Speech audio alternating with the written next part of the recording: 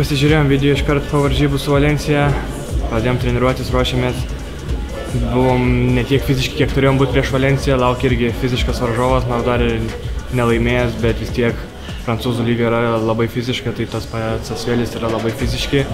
Tai tikėkime, kad pasimokėm iš klaidų ir, ir, ir, ir parodysim tai, ką mokam. Turim žaisti savo krepšinį, irgi turim gerai apsiginti ir galim užbėgti greitą polimą. Tai manau, kad vis tiek Asvėl bandys žaisti lėčiau, ne tiek greitai galbūt, nes vis tiek yra vyresni. Tai bandys pataupyti tą energiją gal kažkiek, bet nežinau, žiūrėsim, pažiūrėsim, ką, ką, ką bus jie mus parašę. Be abejo, manau, kad čia viskas priklauso nuo mūsų, turim laikyti žaidybinio plano. Ir, ir, ir, ir irgi laukiam ir galiu, liko dar keletą bilietų, kiek žinau. Tai mums jų labai reikia, tikimės, kad jie mus vėl palaikys, kaip vis laik palaikė ir viskas bus gerai. Manau, kad kiekvienas varžybas jie mus užkuria, būna papildomos energijos ir, ir, ir tai yra tikrai dėl to, ko, dėl ko žaidžiame.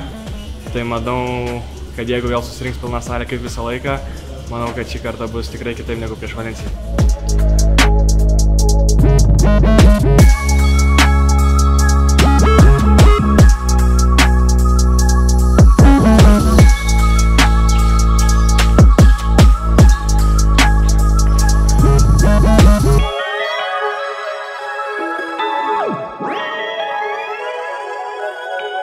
Wow!